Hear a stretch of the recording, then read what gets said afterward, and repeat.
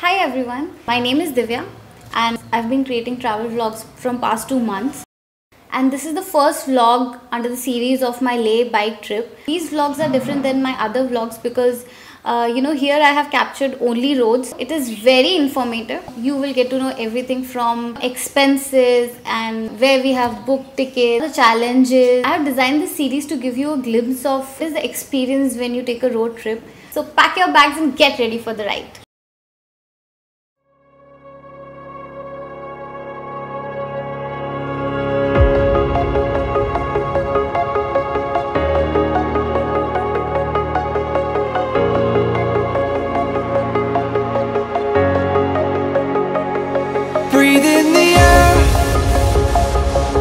That surrounds me.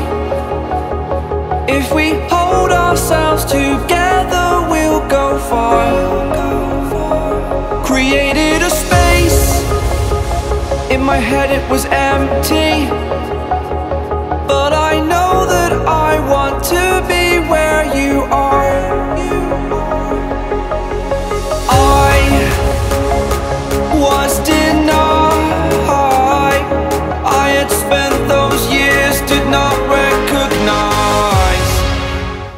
And my husband landed in Srinagar last night and state went to rent our bikes, which we have booked online. We have rented a 500cc Royal Enfield, which costed us 1600 per day with 5000 security deposit.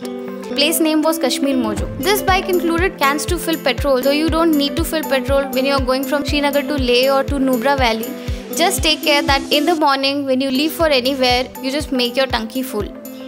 Uh, they have also given us ropes, polythenes to tie our bags, bike toolkit, essential papers which is required. We just have to submit a photocopy of driving license, two passport size pictures, and one original ID proof. As we were over luggaged, we dropped some of the luggage in Kashmir Mojo itself. It was safe. After doing a trial of bike and bike formalities and everything, we went near Dal Lake. At this point of time, we were very hungry. We just went to a place and ate. Food is very cheap. In the whole journey, a bharpet khana costed us 250 rupees.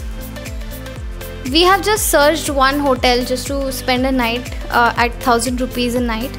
You can actually get it cheap because we are very tired. That's why we have not a cheaper hotel. But if you want to spend more or even 1000 rupees, you can uh, consider uh, spending your night in the boat in Dal Lake. We ate and then in the night took some um, fruits uh, for our journey. Then we ate again. The bill was 250 rupees and slept.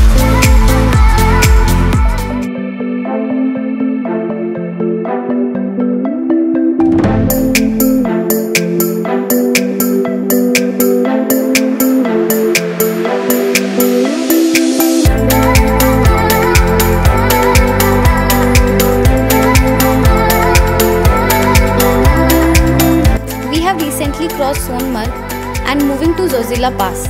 Look at the terrain change. Zojila Pass is a high mountain pass in the Indian states of Jammu and Kashmir, located on National Highway 1 between Srinagar and Leh in the western section of Himalayan mountain range. This is a very difficult road with bad conditions, sharp turns and prone to landslides. So be careful.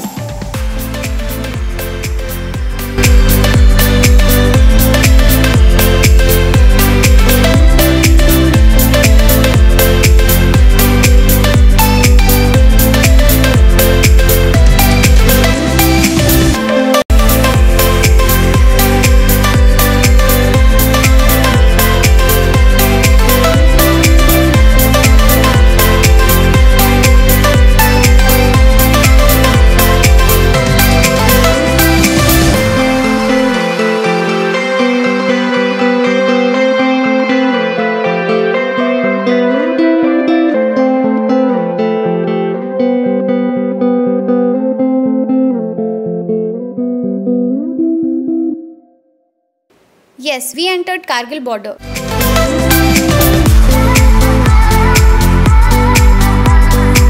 Srinagar to Kargil distance is 203 kilometers.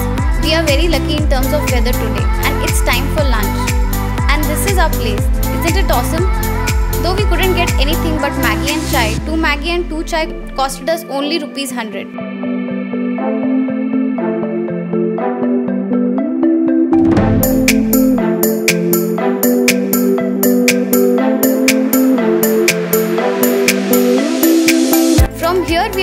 It's Dras. It is at the height of 10,000 feet. It's a small town between Zojila Pass and Kargil main city. Dras is 140 km away from Srinagar, 63 km from Sonmarg and still 56 km from Kargil.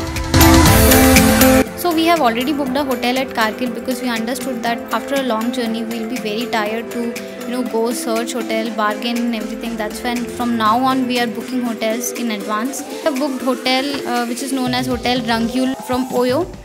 We have a